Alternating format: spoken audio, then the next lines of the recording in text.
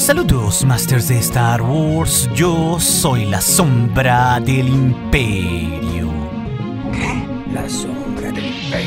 Hoy, Master, retomaremos ese fanfiction que iniciamos ayer sobre qué pasaría si Ahsoka Tano hubiera entrenado a los dos gemelos Skywalkers, cambiando así radicalmente la historia post-episodio 3 de la saga. Y recordando brevemente los sucesos de la primera parte, por si no lo vieron, Masters, tenemos aquí que luego de sobrevivir a la Orden 66 y la caída de su Venator, Ahsoka Tano habría presenciado una extraña manifestación de la fuerza, cuando en aquella luna que había sido la tumba de los clones y de aquella nave, un misterioso portal se aparecería de la nada, con Morai el Combor emergiendo de él y entregándole también un comunicador a Ahsoka, a través con el cual Obi-Wan Kenobi la habría contactado e igualmente siendo influido por esa misma manifestación del lado luminoso, para que tanto Obi-Wan como Yoda incluyeran a Lady Tano en su gran plan para enfrentar y vencer a los Sith. Y mientras Yoda acudiría a enfrentar al emperador, Rex protegería en Mandalore a Padme con el apoyo de Bo-Katan Kryze, y así Obi-Wan Kenobi y Ahsoka viajarían hasta Mustafar para enfrentar a Anakin. El combate, claro, no se haría esperar, y aunque en un par de ocasiones los dos Jedi habían estado a punto de vencer en un esfuerzo combinado a Darth Vader, este final de cuentas había atravesado a Kenobi utilizando el sable Shoto de Ahsoka, quien apenas puede escapar de Darth Vader gracias a la ayuda de R2-D2. Y poco después, Ahsoka sería testigo en un eco de la fuerza de la mismísima derrota del maestro Yoda quien había caído ante el sable del emperador. Al menos eso creía ella. Ahsoka Tano entonces volvería a Mandalore, donde en medio de la discusión de qué se haría para proteger a Padme de los Sith, la senadora tendría ahí los dolores de parto y daría luz así a Luke y Leia. Y poco después de su nacimiento, Ahsoka haría un compromiso con la fuerza misma para entrenar a los pequeños así como lograr el ascenso de la luz. Y es aquí donde continuaría esta historia, Masters. Pero antes recuerden que tenemos una lista de reproducción con varias historias alternativas de qué hubiera pasado si ciertos elementos de la saga de Star Wars hubieran cambiado radicalmente, Masters. Una lista donde también está ahí la parte 1 de esta historia. Es sí, que habrían pasado 18 difíciles años. Mandalore aquí había sido devastado por el Imperio. La ira de Vader, claro, no conocía límites, dado que todo este tiempo había estado en búsqueda de la superviviente Ahsoka, así como de Padme Amidala, quien se alzaría en su contra ahora como la líder de facto de la rebelión.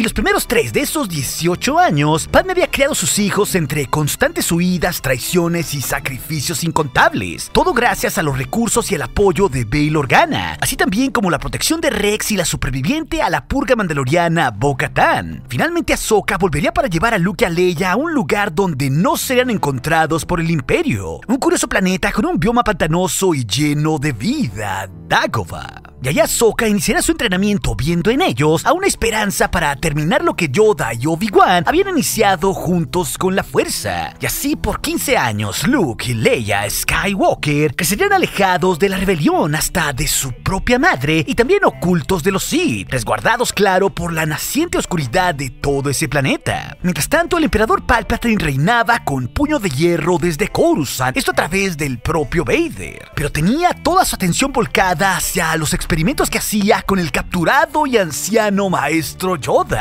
el cual en realidad no estaba muerto. Y gracias a la conquista de Mandalore y los ingenieros imperiales, ellos habían diseñado la más temible de las prisiones basada en las antiguas celdas Mandalorians, una que contrarrestaba los poderes de un Jedi, impidiéndole claro escapar y obligando a Yoda a encerrarse día tras día en su propia mente, mientras que por las noches el anciano maestro soñaba con destellos, con círculos azules y manifestaciones de luz y del futuro, algo que lo mantenía vivo. Y por su parte Ahsoka, con la fuerza como su guía, había logrado que Luke y Leia crecieran fuertes y conectados con una increíble manera hacia ese campo místico que les brindaba a todos los Jedi su poder, enseñándole claro a forjar sus propios sables de luz, cuyos cristales se encontrarían en lo profundo de la cueva del lado oscuro de Dagobah. Los gemelos dominarían, igual que su maestra, la técnica del Jarkai y habían alcanzado un balance que se representaría por sus dos hojas de plasma en un intenso blanco resplandeciente, idénticos al de su maestra. Hasta que así el tiempo llegaría mucho antes de lo que habían pensado, cuando a los oídos de los Jedi en Dagobah les llegaría una funesta noticia a través de un holograma, donde ahí Bo-Katan y Rex les informarían que la nueva estación espacial imperial conocida como la Estrella de la Muerte había había hecho su terrible primera demostración, destruyendo en un súbito acto de crueldad el mundo natal de Palpatine, Naboo. Esto como el inicio del proyecto del emperador de la refundación de la galaxia. En el terrorífico incidente caería una de las principales bases de la Alianza Rebelde, acabando con las vidas de sus principales líderes en un devastador y contundente golpe. Uno que había acabado con las vidas del senador Organa y de la mismísima general Padme Amidala. Todo claro sería de una absoluta tristeza ante la noticia. Aunque no toda la rebelión estaba destruida, Yasoka claro al escuchar aquello le permitiría a sus dos discípulos llorar la muerte de su madre, pero también le recordaría confiar en la fuerza. Paralelamente, en el núcleo de la galaxia, alguien más lamentaba las consecuencias de aquella acción imperial. Era Darth Vader quien regresaría ahí al mismísimo Palacio Imperial, envuelto de ira luego de que se confirmara la muerte de la líder rebelde Padme Amidala. Todos esos años había estado obsesionado con encontrarla, así también como a su hijo o hija, incrementando intensamente su poder como un Sith, pero olvidándose por un tiempo de la rivalidad con su maestro, tal y como la regla de los dos lo indicaba. Pero esto último en Naboo lo había cambiado todo en los adentros de Vader. Era el tiempo de actuar y la ambición suprema de Palpatine era utilizar el material genético del maestro Yoda como suyo propio, con la visión de crear un ejército de seres sensitivos a la fuerza, así también como para asegurar su inmortalidad. Y por eso Darth Vader en su furia lo enfrentaría, antes de que fuera demasiado tarde para derrotarlo. Vader, claro, no necesitaba más poder que el de volverse el emperador, deponiendo claro a Sheev Palpatine para controlar a la estrella de la muerte y a toda una galaxia. Sería así, con esas intenciones, que Vader se presentaría ante su maestro, en la mismísima sala del trono del emperador. Y un Palpatine viejo lucía aquí embriagado de poder luego de destruir Naboo. Y al ver a su aprendiz oscuro acercarse, el Sith únicamente diría... Vienes a celebrar nuestro éxito, viejo amigo. De un solo golpe la rebelión ha caído. Su líder nunca será más un problema para nuestro reinado, Lord Vader. Nuestro reinado, maestro. Respondería únicamente en un tono mordaz Vader, y un silencio llenarían aquel lugar a tipo de que un grupo de guardias reales cercarían al emperador. Y de inmediato Vader encendería su sable de luz de un bello rojo carmesí, del mismo color de su ojo cibernético en la única parte de su cara que estaba dañada. Entonces se conectaría de una intensa manera con el lado oscuro como nunca antes lo había hecho, y de su mano orgánica emanaría un potente torrente de rayos de la fuerza de un rojo intenso, iniciando así el combate. Mientras tanto, en una de las torres del palacio que estaba temblando, en la mismísima prisión de Yoda, el momento ya habría llegado. Más y más temblores sacudían todo el complejo imperial, hasta que súbitamente se abriría una fisura en la pared. Y como desesperado de un largo letargo, Yoda escaparía no solo del lugar, sino de aquel adormecimiento de su mente. Pero habiendo estado casi 18 años aprisionado, víctima de un experimento tras otro, todo ese tiempo habría cobrado un alto precio en el cuerpo del anciano maestro. Así que a pocos metros de esa fisura tropezaría, y un grupo de Stormtroopers lo cercaría y uno de ellos se disponía a notificar el incidente a través de su comunicador, cuando Yoda se conectaría sin límites por última vez hacia la fuerza. Y súbitamente un portal a su lado aparecería con una ráfaga de viento que mandaría a volar los Stormtroopers. Y Yoda traería el comunicador con la fuerza y entonces lo entendería. Aquel círculo que había iniciado 18 años antes debía cerrarse. Y Moray el Combor saldría del portal. Y el viejo Jedi le entregaría el comunicador, cerrando así el círculo, tal y como el maestro llevaba años soñando. De regreso a la sala del trono, Vader y Palpatine combatían con el lado oscuro en toda su potencia. Torrentes azules y rojos destrozaban todo a su alrededor, mientras los Sith trataban de destruirse uno al otro. Vader alternaba las descargas con estocadas de su sable, pero Palpatine, claro, no necesitaba de una espada para defenderse. Pero también la ira de su discípulo iba en aumento. Mientras ese combate se daba, Yoda aún estaba enlazado con la fuerza, y así estiraría su conciencia hasta un sistema muy lejano, uno que estaba lleno de vida, donde ahí se percataría que tres seres de luz vivían invisibles a los ojos de los Sith, pero no ante los suyos, unos que habían esperado casi por 20 años para ver a la luz ascender de las tinieblas. Pero de regreso al combate, Vader perdería su sable en un embate de Palpatine y caería al piso. Aquello parecería el final, mientras el emperador electrocutaba a Vader con un potente torrente de rayos oscuros. Pero el elegido de la fuerza, con su cuerpo prácticamente intacto, se conectaría con su ira que lo volverían aún más poderoso. Y con su única mano orgánica extendida, a través de la fuerza sujetaría el cuello del hombre que le había quitado a Padme. Y con ello también su posibilidad de encontrar a su descendencia. Mientras tanto, Yoda sentía que su cuerpo fallaba. Respirar ya era un suplicio. Cuando de pronto extendería su mano hacia el portal que aún brillaba en tonos azules y únicamente diría... Que ascienda la luz para la oscuridad combatir.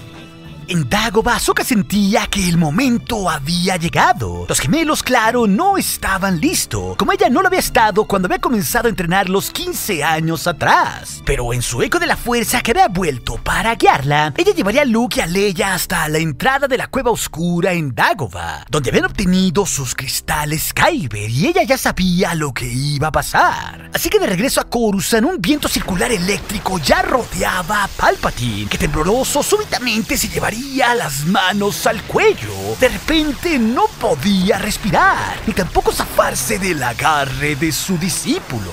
Y así inicia el nuevo imperio anciano. Diría Vader finalmente con la voz cargada de odio, y Palpatine contestaría casi en una voz sofocada pero burlona. Muy corto será, viejo amigo. Y de un chasquido, la espina dorsal de Palpatine se partiría. Y el sí dejaría de existir en medio de un estruendo sonoro. Y Vader también caería al suelo. Pero de nuevo, en la cueva en Dagobah, Sokka y los gemelos encontrarían un portal abierto que los conduciría hasta la torre de Coruscant. Donde justo ahí encontrarían al viejo maestro verde y lo que la rebelión no había logrado en 18 años, es decir, un enfrentamiento directo y oportuno entre el poderoso Vader y la propia descendencia del Sith, finalmente habría sido dispuesto por la fuerza misma. Y Ahsoka aquí inmediatamente se arrodillaría junto al maestro Yoda, que en un último aliento únicamente le diría... Ayuda al elegido a cumplir su destino. Y con esta última frase, el cuerpo del maestro verde desaparecería ante el asombro de los gemelos Skywalker. Mientras tanto, Vader ascendería hasta el trono, agotado por el combate contra su ex maestro. Cuando también en ese momento advertiría a tres figuras que ingresaban al lugar. De inmediato reconocería a la antigua Padawan de Anakin Skywalker, que había venido nuevamente a retarlo, acompañada, claro, de dos Padawans de no más de 20 años, un chico y una chica. Los aprendices mirarían al Sith que en ese momento encendería su sable de luz carmesí. Y ante aquello, Luke preguntaría... Maestra Soka, ¿es él? Y Vader observaría entonces a Soka encender sus sables de luz de un blanco intenso. Thanos se limitaría a responder a su padawan que quien se encontraba frente a ellos era el hombre que había matado a Anakin Skywalker, su padre. Ahsoka, claro, había contado una mentira, pero era una mentira que había permitido a los dos Padawans enfocarse a completar su entrenamiento, luego de separarse, claro, de su madre. La mentira de que su padre también había muerto traicionado por el ambicioso y cruel Sith Darth Vader había evitado así que los gemelos Skywalker añoraran a su padre, buscando también vínculos que solo los distraerían de su entrenamiento. Así que Luke y Leia encenderían sus dos sables en posición de Jarkai cada uno con un blanco resplandeciente, simbolizando claro el completo balance en el que se encontraban. Darth Vader entonces deduciría al instante que estaba a punto de enfrentar a sus dos hijos y que ellos tampoco no sabían que él era su padre. aquello sería un profundo golpe, pero la fuerza había permitido que las mentiras de los Jedi prevalecieran. Y esa simple idea volvería loco al Sith. Así que poderoso como era y con su sable carmesí en su mano mecánica y con rayos oscuros emanando de su mano orgánica, apenas se podía defenderse de seis plasmas atacándolo al mismo tiempo. La danza, claro, sería devastadora. Ahsoka contenía con los sables en cruz los embates de su enemigo y el De Luke y Leia lo obligaban a combatir a la defensiva. Los gemelos eran demasiado rápido y combatían sin ira en sus caras, decididos y funcionando como uno. De pronto, de una increíble manera, un tajo vertiginoso del sable Shoto de Luke Skywalker le cortaría la mano mecánica al sí, y Leia, en un movimiento elegante, amputaría su brazo orgánico. Eso era en realidad un Jedi en completo balance y Darth Vader súbitamente caería al piso herido, desarmado, de una manera muy similar a como el Conde Duco había quedado a su merced dos décadas atrás. Y justo el Sith pensaría en aquel momento cuando Ahsoka se acercaría a él. Y con un movimiento de su mano indicaría a los gemelos que se apartaran. Ella, claro, lo miraría a su único ojo humano, que brillaba con el ámbar del lado oscuro y Vader podía sentir la empuñadura de su sable apagado a pocos metros de donde estaba arrodillado. Y sin que los gemelos se dieran cuenta, a través de la fuerza comenzaría a mover el sable. Ahsoka se arrodillaría también poniéndose frente al Sith. Pensando claro en las últimas palabras de Yoda, lo abrazaría. Vader, claro, ya tenía el sable listo para levitar y encenderlo para acabar así con la vida de la Togruta. Pero no podía entender qué rayos estaba intentando la Jedi y por qué lo perdonaba hasta que súbitamente una idea lo golpearía de pronto. Ella, claro, quería morir. Estaba lista para entregar su propia vida y darle una última oportunidad de redención por la persona antigua que había sido. Y Vader entonces miraría a sus hijos y entendería también lo que Ahsoka estaba haciendo. Ella no quería matarlo ni tampoco quería que ellos dos lo hicieran. Ella estaba interviniendo para causar un acto de redención propia en su persona interviniendo también para que sus dos hijos no se mancharan de sangre. Durante 18 años los había buscado, creyendo que solo había uno de ellos, mientras que por su parte los gemelos habían crecido sin saber quién era él, ni nada de lo que había hecho. Y justo en ese momento climático, Anakin vería todo el mal que había provocado, la esclavitud que se había extendido por toda la galaxia de manos del imperio, tanto las muertes como la devastación, y sentiría después de muchos, muchos años pena en su corazón, pero también la sola idea de saber que sus hijos no sabían que tenían un vínculo alguno hacia él, lo harían justo cometer el único crimen que Ahsoka les había dicho que él había cometido. No era una mentira, era una profecía. Y Anakin podría sentir a Ahsoka totalmente calmada en la fuerza sabiendo que ese era su destino en la luz, unida a él al propio Vader en la oscuridad, con todo en perfecto balance. Y así el arma de Vader se encendería con un plasma carmesí Sí, volaría hasta atravesar a Ahsoka y a Vader al mismo tiempo. En un acto de honor Jedi, de redención y de balance. Todo claro ante la sorpresa de Luke y Leia. Y de esa manera, Anakin y Ahsoka traerían balance a la fuerza, ayudando así la Padawan a cumplir así la profecía de Skywalker. Y justo Ahsoka pensaría antes de morir en Obi-Wan y todos los Jedi que habían muerto por la mano de Vader, liberada aquí de toda culpa. Y sabría así que el equilibrio había sido restaurado. Luke y Leia, no nadados, presenciarán aquello recordando todas las enseñanzas de su maestra sobre los ciclos, así también como el balance de la fuerza que existía desde tiempos míticos. Y ante sus ojos podrían ver a su maestra como la esencia misma de la luz y al Sith que moría como la oscuridad. Y de esta forma todos ellos se convertirían en los libertadores de la galaxia. Y los gemelos, con la guía de Boca Tan y Rex, liderarían a los restos de la rebelión para traer justicia a todos los rincones y llevar a la galaxia hacia una nueva era. La Estrella de la Muerte será convertida en una instalación de refugiados con su poderosa arma interior desmantelada, y el Palacio Imperial será refundado de nuevo como un templo Jedi, en la que los hermanos Skywalker refundarían aquella orden, dando espacio a una época en los caballeros fungirían como líderes y sanadores, cultivando la cultura y el honor e inspirando a todo el pueblo a defender siempre la verdad y la justicia. Pero si también te interesa conocer la primera parte de este fanfiction, esa historia master se las dejaré aquí en las pantallas finales junto con otras. Y recuerde, nuestro aliado es la fuerza y un poderoso aliado es. Hasta aquí su amigo, la sombra del imperio.